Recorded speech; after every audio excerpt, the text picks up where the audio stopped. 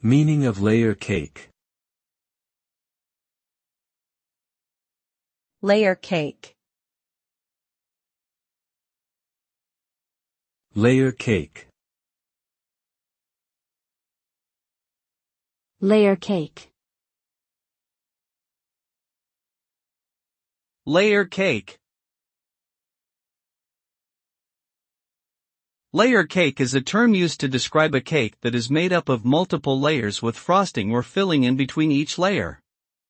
It can also be used as a metaphor to describe situations where there are multiple layers or levels of complexity, often with hidden or obscured aspects. In this sense, it can refer to anything from organizational hierarchies to complicated legal or financial systems, where understanding all the layers is important for gaining a full perspective.